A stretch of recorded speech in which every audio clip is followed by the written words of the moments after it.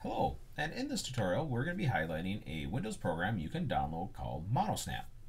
Now MonoSnap is a way to do screenshots, but to do a little more than just something you could do with the snipping tool, you can actually add text and arrows and help explain how to do something. Um, now there is also a Mac version, because today we're looking at the Windows one. Uh, you can watch my Mac version of the tutorial if you go to my website, cowen.rocks or look for my other YouTube video that explains how to use it. Now, to download MonoSnap, all you have to do is click this button. It downloads a little file that you can install, and it walks you through very easily how to do so. Once you have it installed, it's going to show up in your system tray, which is down here, and it looks like the little lightning bolt. Now, to kind of give you an example of how you could use this, here's a website I have students use called Vocaroo. Vocaroo is a way for students to make little podcasts or audio uh, and then turn it into me in a pretty easy way. But sometimes they get confused about exactly how to do that. So instead of explaining to them over and over how to do it, I could do a screenshot and explain to them there. Now, what I would do is I'd come down and click my little MonoSnap icon. I could say I want to capture a certain area because maybe I don't want to capture my taskbar because I don't want kids get confused if they're using a Chromebook or other device um, that maybe doesn't have my Windows taskbar on it. So I can just drag a little selection here. That comes in, and now I have a work area. So there's a couple different tools that you can do down here. You can change colors, you can change the size, there's like arrows and boxes, um, but there's also this really arrow with a text, which is pretty handy.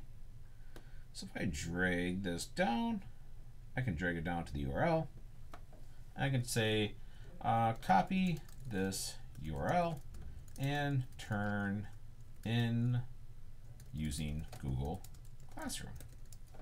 So they'll know that's the URL they need to attach to their assignment. Now there's other options in here.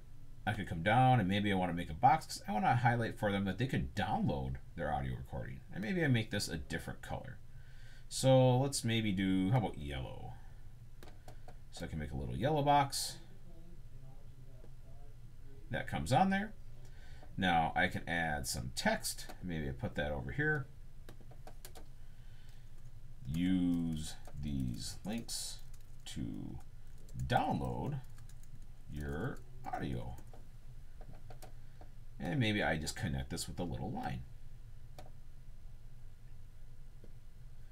And lastly, maybe I want to just kind of highlight. Maybe I do a little circle and I'll kind of maybe do a, how about gray.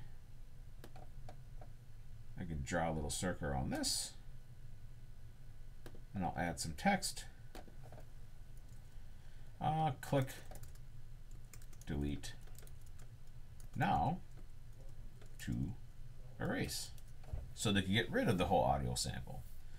So I can type in my instructions for students. I can have that in my screenshot, add it on, and then all I have to do is hit save. It'll ask me where I want to save it. Now I have a MonoSnap uh, folder that I made in my pictures. So I'm just going to save it right there. And what it looks like then is if I go into my MonoSnap folder right here, I can see my little image will open up. So I could put this on my website. I could put it in a Google Doc, a Word document, um, Google Classroom, so students can see easily how to turn in their Vocaroo. So MonoSnap, uh, very easy program to use, very beneficial, and lots of great ways you can use it. I hope you enjoyed watching and that you find this tool helpful.